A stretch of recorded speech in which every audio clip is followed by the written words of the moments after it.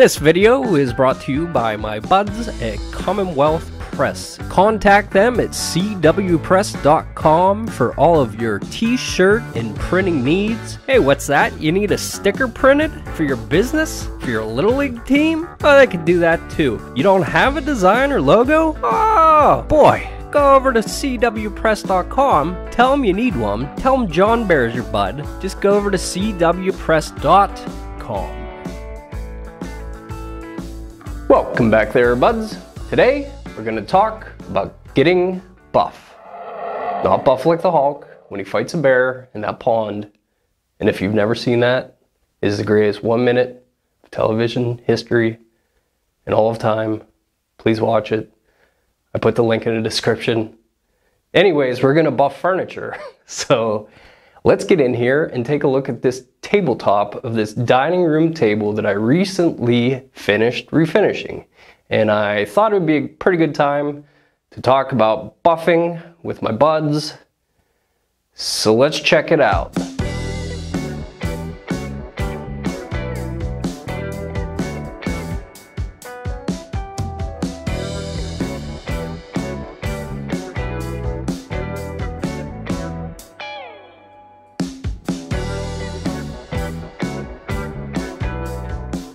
Here is this dining room table opened up so I can buff it. This is the buff side. This is the unbuff side.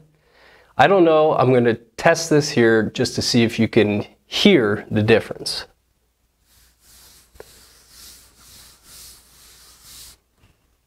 Maybe. Has a little bit of a grittiness from that finish. So smooth. Doesn't really have any grittiness to it at all. It gets rid of all the little nibs and any of that little dust or overspray or whatever could be in there. And I think it looks a lot better. It has more of a fine antique finish. I mean, it looks like it's been there for 50 years instead of brand new. And these unbuff finishes kind of tends to look a little bit plasticky or something like that. So let's get in here. I'm gonna show you how I go about getting rid of those little nibs and buff it out. I begin by wetting the surface with water on the table and on the sandpaper to give it a nice lubricant to sand with 2000 or higher grit sandpaper.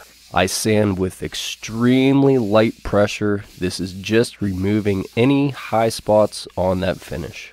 I'm just sanding, going back and forth until I can tell by the feel as well as the sound when it's time to stop. After the sanding, I just wipe it off with a clean rag.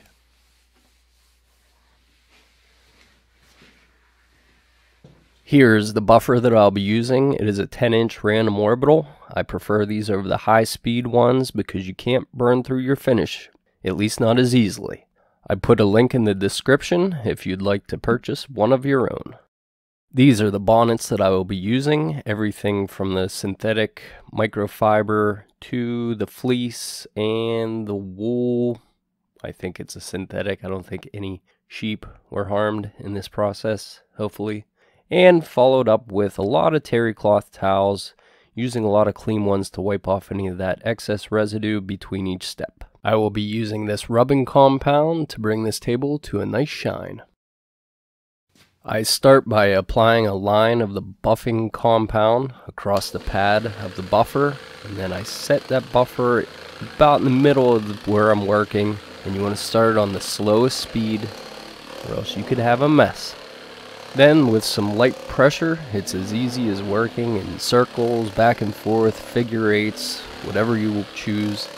And just easing up on the pressure, I like to go until I start to see a little bit of a shine. You can tell when the compound's starting to dry, and that's when you want to stop and wipe it clean.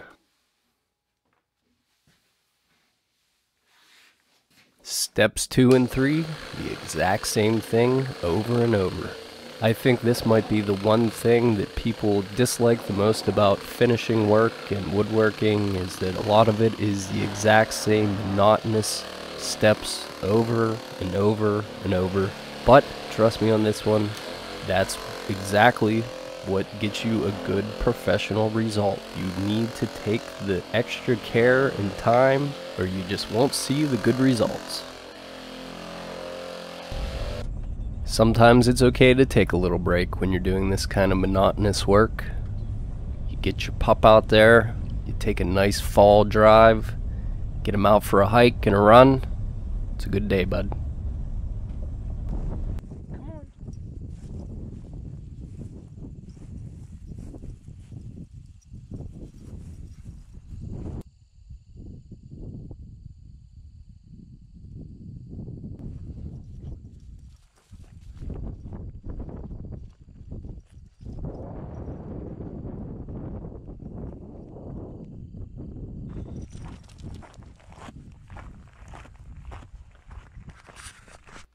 Now we're back at it with that third wool bonnet for the third step in this buffing process.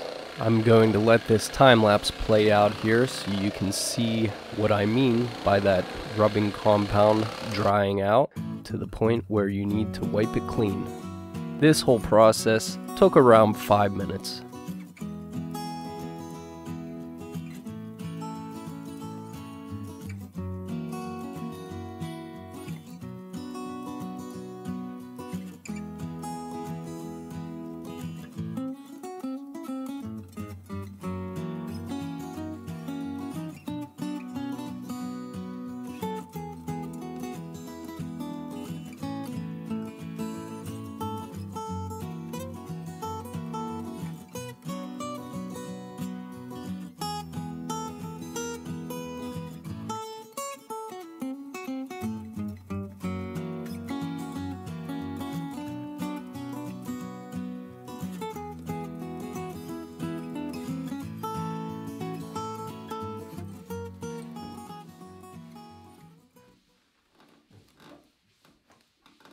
And then, last but not least, I just wipe it down with some wood cleaner polish and a terry cloth towel.